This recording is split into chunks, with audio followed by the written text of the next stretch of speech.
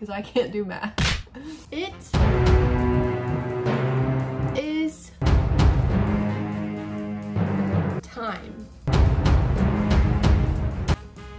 No, not short block time, but it's still Gen 5 LT time. Let's put our heads together. Sure, if we put our three heads together, we should come up with something. I ordered a 685 dual spring kit that comes with retainers, locks, locators, valve seals, and valve tip savers. Right now in front of me, I have all of my valves set in here. All I'm going to do is mock up each one with our locator. So you put your locator in there first. Once your locator is in there, you're gonna take your micrometer and set the retainer on the top and then grab two locks and go ahead and lock it into place as if there was a spring there. Once those locks are on, you can go ahead and measure the micrometer down until it touches and there's no room to spin it anymore. Forever together forever. Oh my god, no. Locked in.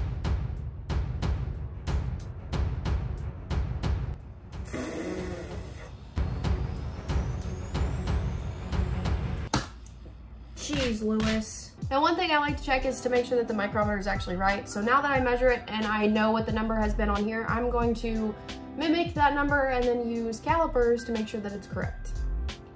Holy cow. So after measuring the micrometer, I went from 1.815 and it's actually 1.783. Now simply what I'm gonna do is redo all of that and on each and every single one of these so I can get a proper sizing so I can decide what shims I need to put in there and how big I need to make them. One of the first things you're gonna need to know is what cam you're going with. This is all valve trained, so you have to know what cam. And then you have to look at your cam spec card and see what your lift is. Mine happens to be 644. Take that and you're gonna take your coil bind on your spring kit. The other number that you're going to want to know is coil bind clearance. What you're gonna do is you're gonna take all three of those numbers, you're gonna add them together. So I have 644 plus one plus, and that is going to give me an install height of 1.704. I'm gonna give myself a little more clearance. So I'm gonna go with 1.764.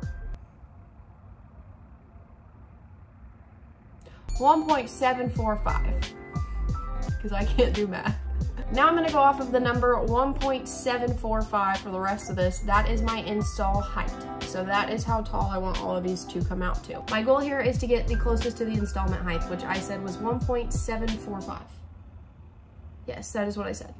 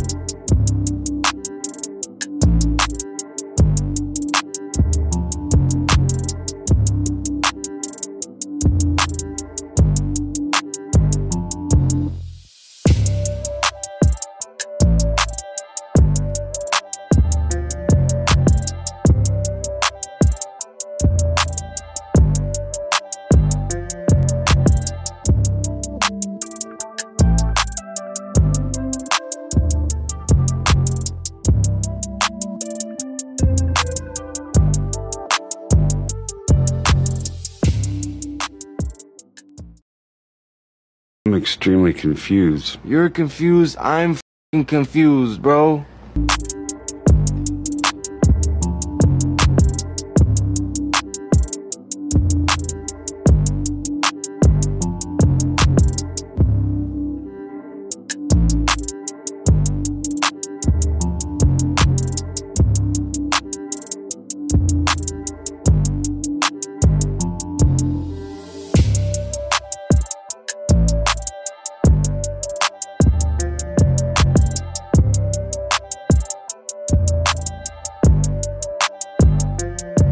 So I'm actually gonna base my numbers off of what the caliper said, not what the micrometer said, because sometimes they're just not accurate. With me, I have shims from 30 thou and 15 thou, and what we're basically gonna do is take each one of those numbers and subtract this installment height, and that should give you the difference of how much you need to make up for in those shims. Now that all the math is done, it is time for probably the easiest part of it all, and that's actually putting them together and assembling them. So here are all my numbers, and all the numbers in parentheses is how far I need to shim it, but I only have 15 thou and 30 thou shims.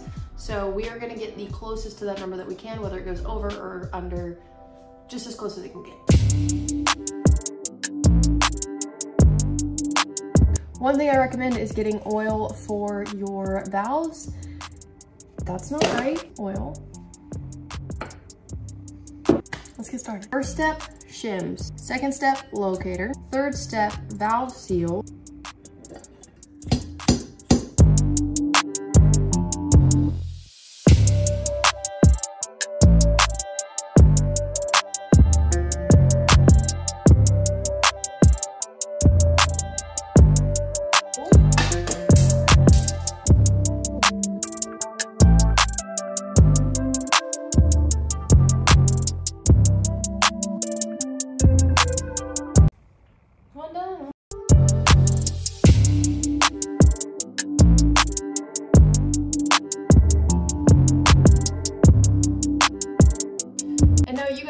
Your heads together, so I'm gonna leave it up to you to finish yours, and I might see you guys next week with a short block.